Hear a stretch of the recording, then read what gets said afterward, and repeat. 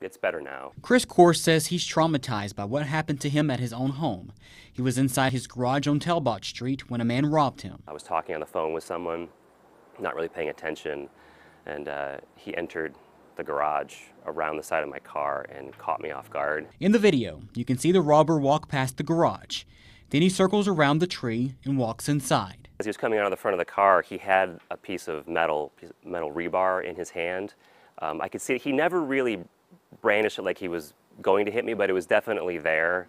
Um, I think he wanted me to know it was there. The surveillance video didn't capture what happened inside the garage, but it did pick up the audio. The man asked Core if he remembers him. No, no, no. Then Core yelled for him to stop. Stop! Stop, bro. You tripping. You tripping. Grabbed my phone, uh, and I think I fell on the ground, still holding onto the phone for some reason.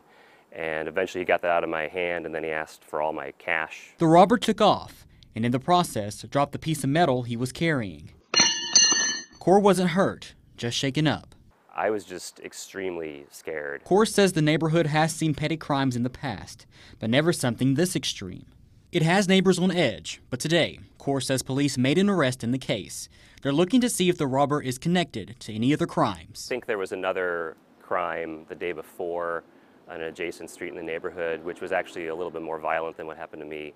And based on the uh, description, it may be the same person. He plans to be more vigilant about the alley behind his house. I want him to know that he caused pain to me and my family, and that I know some people are wanting for things, but what he did is not the right way to get it. Aaron Cantrell, Fox 59 News.